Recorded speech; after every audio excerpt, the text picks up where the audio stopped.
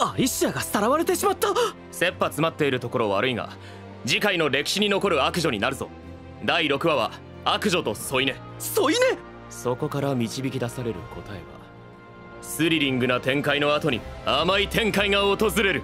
クイメガネをクイッとするんじゃない。もちろん俺とリズとのな。クイックイックイッメガネを高速でクイクイするんじゃない。でもさ悪女とだよアリシアとリズでってことだったりして。アリシア！と言いつつ僕は添い寝するのはその2人じゃないと思うけど